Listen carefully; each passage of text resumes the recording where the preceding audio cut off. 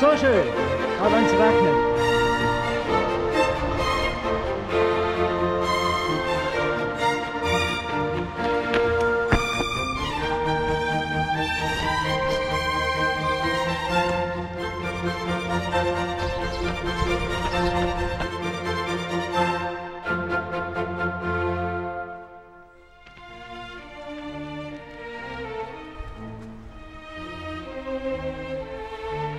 Also ich renne heute auf Zürich, um einen Kaffee zu trinken mit meinen Kollegen.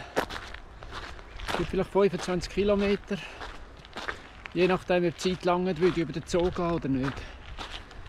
Jetzt bin ich hier oberhalb, Opfiken, und komme dann auf Wallisellen.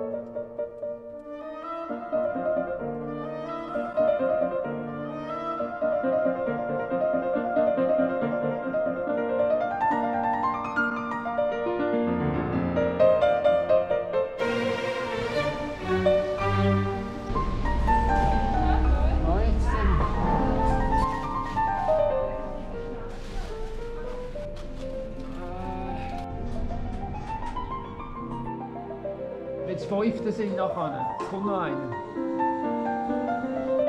Du bist interessiert